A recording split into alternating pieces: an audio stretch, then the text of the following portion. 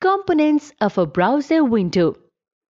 Every browser window has some common parts such as address bar and back and forward button besides some unique features.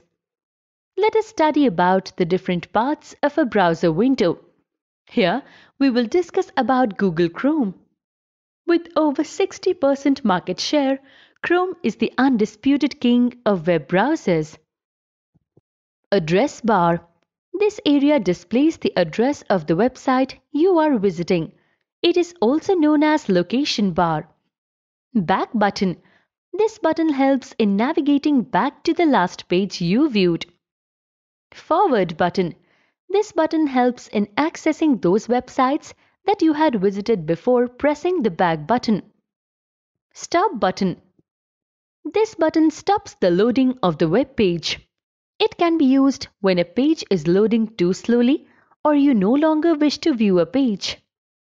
Reload this page. This control when clicked reloads the current version of the web page. Bookmark this page.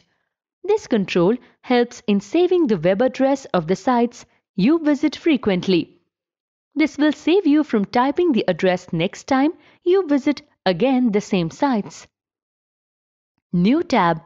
This button opens up a new instance of the browser window so that side by side you can search for some other information also. History.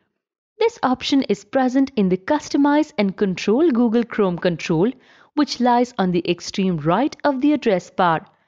It displays the history or record of the websites and pages that you had visited date-wise.